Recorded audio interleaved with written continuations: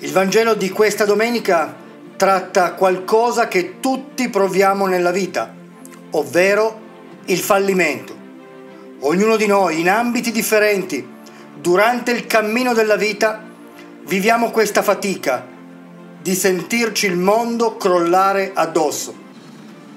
Ci sono fallimenti lavorativi, fallimenti sentimentali, fallimenti spirituali, fallimenti relazionali Gesù oggi vede profilarsi per se stesso due grandi fallimenti. Il primo, la sua fine terribile, tradito e messo a morte. E il secondo fallimento, il defilarsi di alcuni discepoli davanti a questa situazione difficilissima. Un disorientamento che porta Gesù a parlare in modo diretto e senza fronzoli e ad alcuni discepoli a quel punto di prendere la decisione di non seguirlo più, non trovando la forza di seguirlo.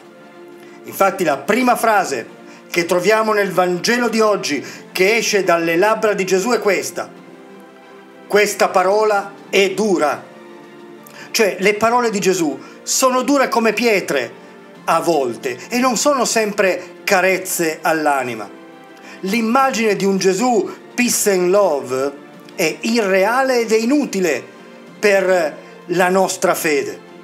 Pensate alle parole di Gesù dette al giovane ricco, vendi quello che hai e seguimi.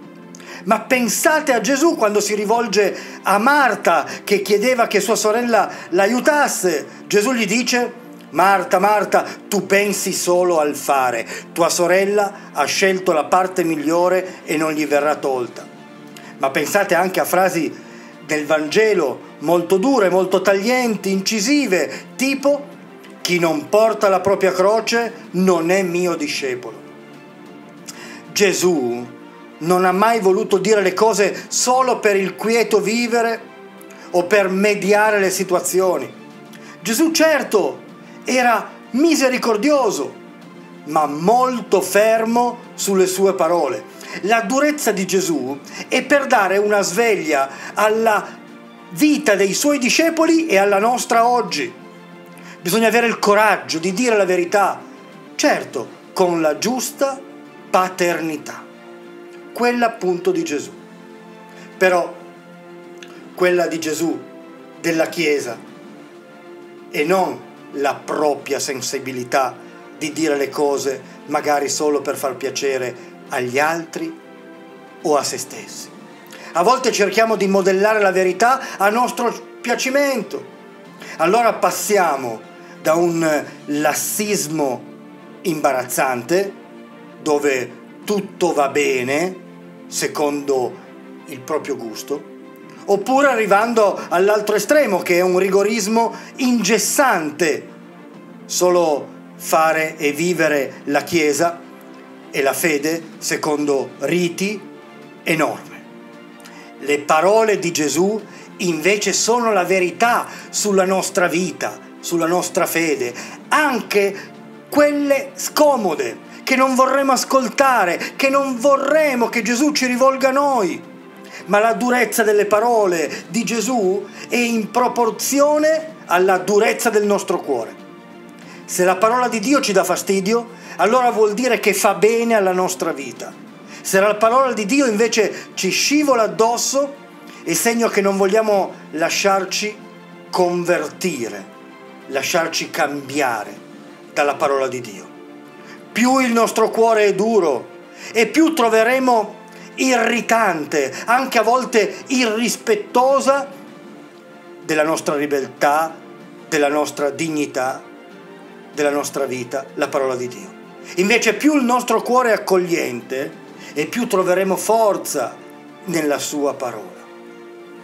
Questa frase, la prima frase di Gesù, cioè questa parola è dura, è rivolta ai discepoli, ma anche a ognuno di noi. Gesù non può essere visto solo come l'amicone che ci viene dietro e cerca sempre di assecondare le nostre volontà. No, Gesù ci parla in modo diretto perché ama la nostra vita.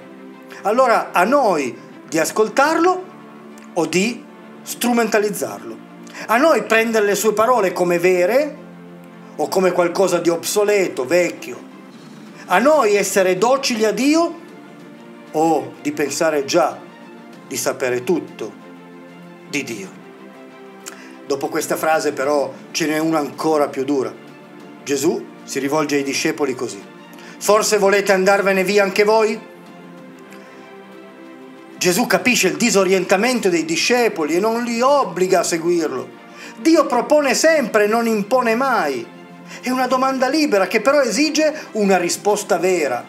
Non si può essere, oggi in modo particolare, cristiani a metà, cristiani tiepidi.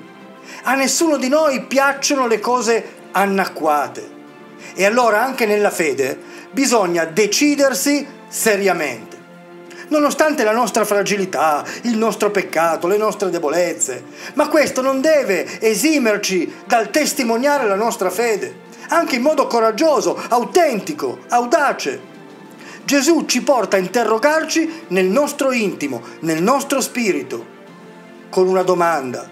Cosa desideri davvero? Dove va il tuo cuore? Devi scegliere nella vita e non rimanere sempre davanti a un bivio. Vogliamo andarcene dalla Chiesa perché non è come vogliamo? Oppure crediamo di saperne di più in fatto di morale, di fede, di catechismo, di liturgia rispetto a tanti teologi, cardinali, vescovi e anche forse il Papa? Preferiamo una fede comoda oppure una fede che parla al cuore, che ci tocca la vita? Allora ecco che Pietro, il primo dei suoi discepoli, gli risponde così a Gesù. Signore, da chi andremo? Tu solo hai parole di vita eterna. Grande Pietro, bellissima risposta e impeccabile professione di fede. Guardate come è bella la sua frase. Tu solo hai parole di vita eterna. Tu solo. Cioè Dio solo è il faro di Pietro non altro. E per noi chi è il faro della nostra vita? Dio, il Signore Gesù Cristo, oppure altro? E poi tu solo hai parole, perché Dio parla, ma spesso non lo ascoltiamo. Dobbiamo essere più vicini alla parola di Dio. Ma, ecco come dice Pietro, tu solo hai parole di cosa? Di vita eterna parole che non possono morire, che non sono morte per duemila anni. Ciò vuol dire che sono vive oggi, nel 2021, in questo agosto 2021. La parola di Dio è viva per la tua vita. Ecco che grazie al Vangelo di oggi scopriamo la libertà interiore.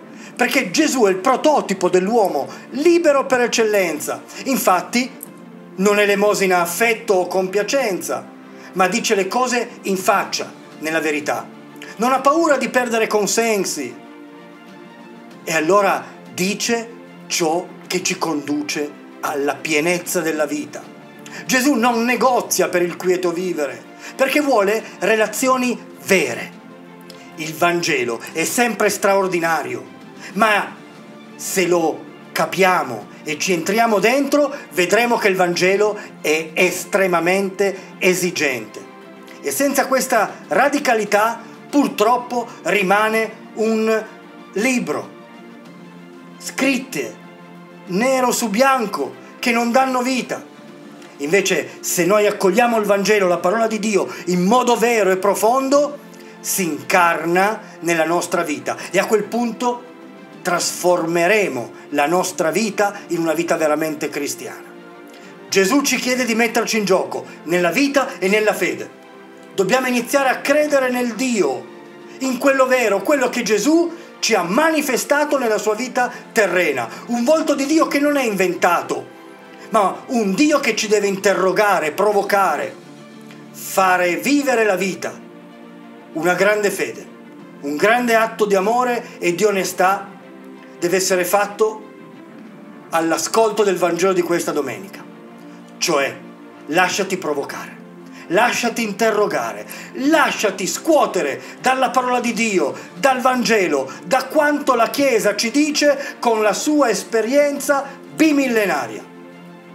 Ricordati, Le parole di Dio sono per farti vivere pienamente la vita e non per negarla, non per arrestarla, non per farla ridurre a solo delle norme e a dei divieti. Il Vangelo è segno di libertà, è segno di pienezza, è segno di vita vera. A te, dopo il Vangelo di questa domenica, accettare o meno la sfida di seguire Cristo, di ascoltare la sua parola e di metterla in pratica.